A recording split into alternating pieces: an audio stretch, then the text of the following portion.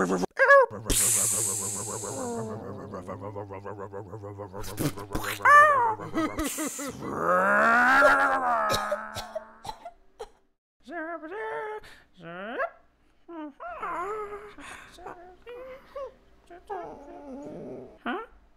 Sure.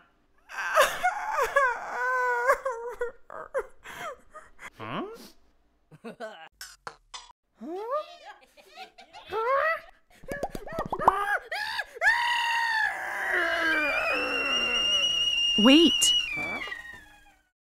A child who is being bullied needs caring and tenderness, along with reassurance that it's not their fault.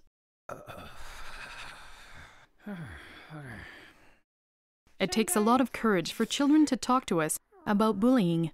It's important to give them space, listen carefully, reassure them, and be their guide. Let's invite children to tell us in their own words what happened and how they feel. When they are able to express themselves and find their own solutions, they take an important step to rebuilding their feelings of self worth.